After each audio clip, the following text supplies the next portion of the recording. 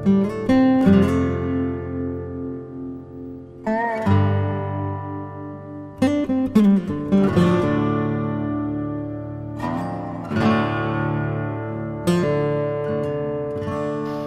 gang, today we're making Moose Goo. That's right. So how do we make Moose Goo? Well, we're gonna need three ingredients. Honey, peanut butter, and flour. Okay, now the original recipe, which I found on Joe's Ultralight website, and I'll put the link down below, uh, called for corn flour. Not corn meal, but corn flour. I don't have corn flour, but I do have brown rice flour, and I've used this before, and it comes out great.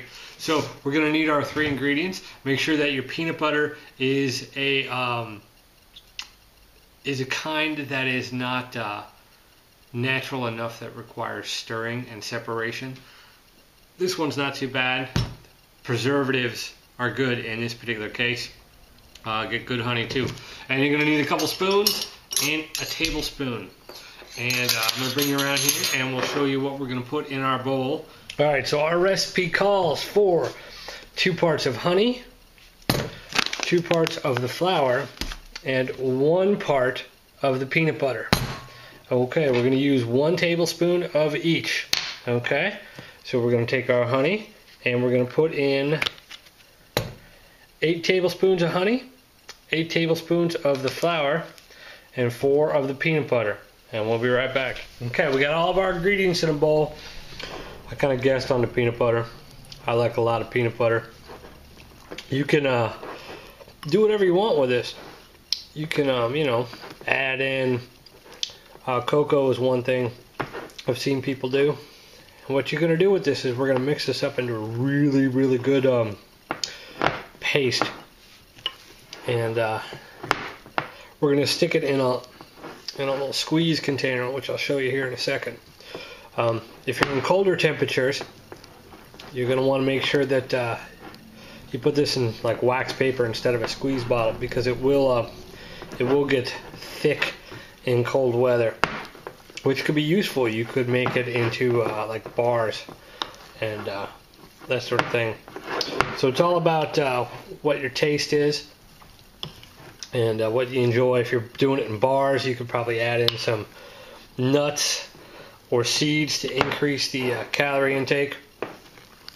But if you do uh, eight tablespoons of flour, corn flour, eight tablespoons of oops, honey, and four tablespoons of peanut butter, then your uh, your calorie count is about thirteen hundred dollars or thirteen hundred calories per tube and that's quite a bit. This is backpacker food, so there's lots of fat, lots of protein, and uh, lots of carbs in there to uh, to get you going. So we're just gonna mix this up here and um, shove it into the tube. I'll show you how that that looks. All right, so it's all mixed together. The tube I use is this Coghlan's uh, squeeze tubes. Uh, essentially, they're open at the end. You stick your stuff in there. You fold them over you slide this thing through. It's got a nice little uh, locking mechanism like that, and you just kind of slide it through, and you squeeze it out onto your tortillas or bagels or whatever you want to put your Moose Goo on. You put it right in your mouth if you're really crazy. Uh, here's the cap. Cap goes on.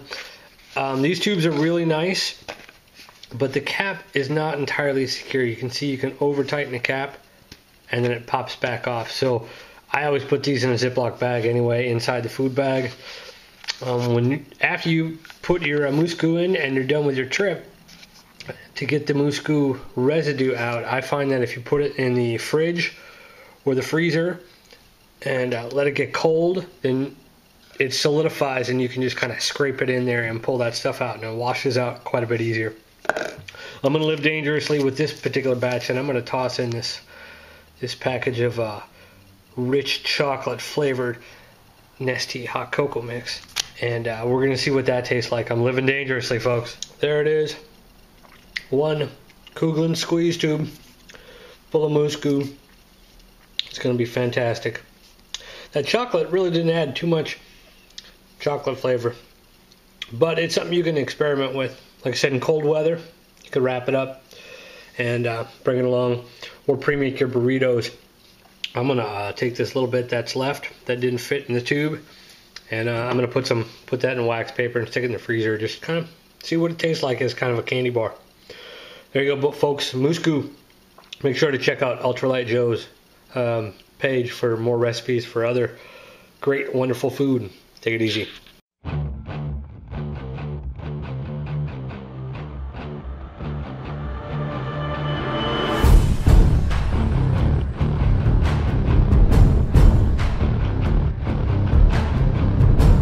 Knock knock.